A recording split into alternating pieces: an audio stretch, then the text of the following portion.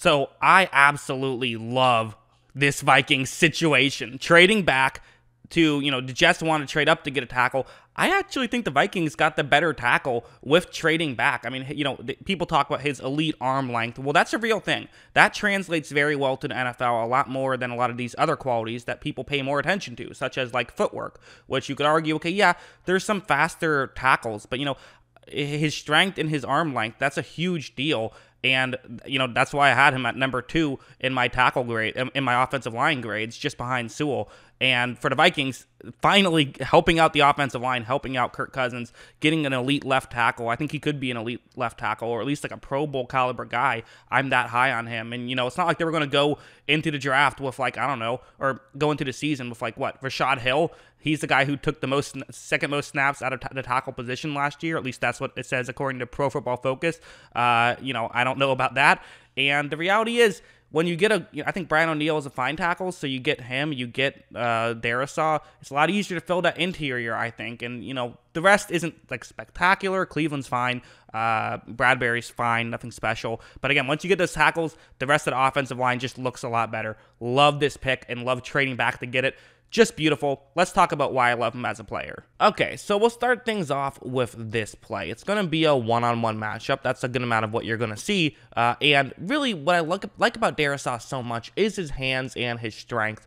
And the reason why I am so high on Darrisaw is because I, I think that those are the qualities that tend to translate the best to the NFL is strength and hands. It's uh, speed is very important, lateral movement very important, but if you have been a fan of my channel, you know that I selected Andrew Thomas. With I said he was my favorite tackle last year, and my mistake was I was relying too much on lateral movement, which I've now kind of adjusted. I don't do that as much. And Darrisaw, uh, I'm not saying his lateral movement is bad, but his hands and strength are incredible. Watch this play and watch how he gets over. But Really watch that left arm and how he just completely is able to use it to stop the defensive end in his tracks up until uh, Darrisaw ends up, you know, getting ran into from behind, which totally wasn't his fault. That was, you know, just unfortunate. But really good hands and really good power. That's what you're going to see on a lot of these plays. Like a play like this is another good example of that, where really what's going to happen is that, again, one on one matchup.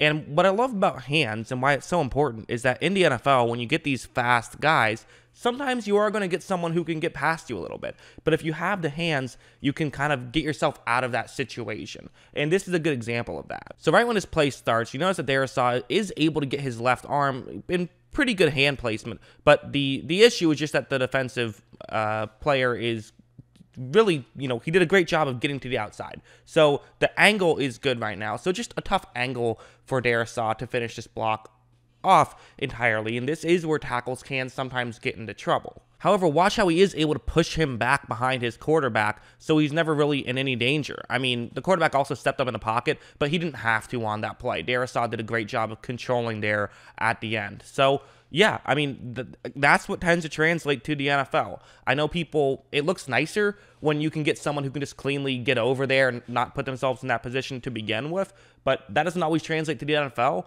Darrisaw's talents almost always translate to the NFL. Like now I want to show this play because you know that last one that was a him getting out of a bad situation. Those don't happen too often. In fact, far more often you see him just putting together highlight reel level blocks as opposed to him, uh, you know, doing stuff like that. So this is the situation. It's he's going up one on one on the, this time on the other side of the field. He's still the left tackle. It's just uh, they're not going the opposite way, so that's why he's over there. And watch how once this play starts, see how he gets that right hand kind of on that uh, left shoulder pad of the Boston College player. And I also should mention, although you can probably already tell by the way the blocking is happening, this is a running play. So his job is to kind of get that defensive player over as far as possible. You want to clear up as big of a running lane as possible.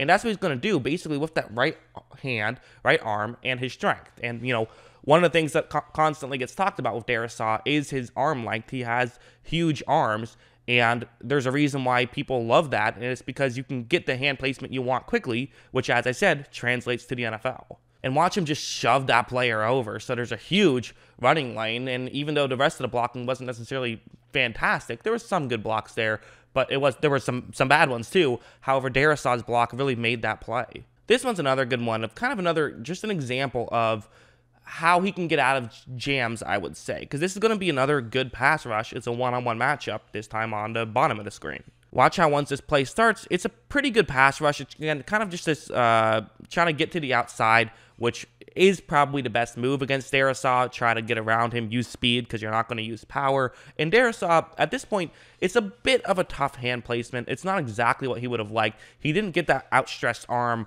exactly where he wanted, like he typically does. So again, good job. These are his losses. I'm not trying to just show you his wins. I'm trying to show you his losses as well to show how he can come back from them. And again, just watch the strength. That's just power right there. And the play got disrupted a little bit, which isn't ideal. But when those are his losses, he's still showing quality traits, which is what I like about him. So, yes, there are some negatives, no doubt about it.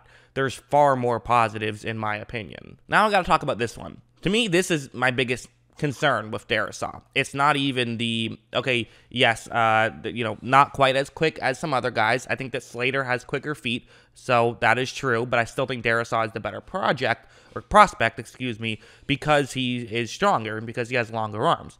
Uh, you know, and I think his feet aren't bad either. I feel like I'm being a bit misleading because uh, it's you might think that I, I'm saying his feet is bad or something. That's not the case. But uh, anyways, this play is concerning for me and it really has nothing to do with his physical talents. So it's going to be a, a, play where it's going to be a handoff, but then you're going to pitch it back to the wide receiver who runs to the top of the screen. Fun stuff. Darrisaw is going to start off blocking the player who I have in that box right there, but this block probably shouldn't matter too much. It's not going to be that big of a deal. Like as you see, that defensive tackle runs to the wrong side of the field because he didn't know that that's what the play was. That's why it's a good play.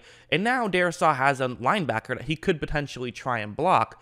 And what's going to be concerning about this is going to be uh, Darrisaw's effort on this play because there's going to be no effort on this play. Watch him just really, I mean, kind of lazily just jog over there. Uh, I mean, you know, it's just, it's not what I would have liked to see. I would have liked to see someone maybe hustle a little bit more, see if you can get a downfield block. Uh, would it have helped that much? I don't know. I think he could have probably blocked 55 out of the way a little bit, and 55 uh, did kind of help make that tackle, not entirely. I'm not sure if it would have mattered too much, but just I saw that a few times. It's concerning for me. It is. I still think it's a great. He's a great player, and I think that he's going to be a great uh, prospect. I think that you know he was my second graded tackle, and in some draft class he would be number one. It's just that you know there's the Penei Sewell thing, so he's number two, but he's really good. But yeah, that's what I think. What do you guys think? Let me know in the comments below. What are your thoughts on this decision? Always love hearing from you. And of course, as always, thanks for watching.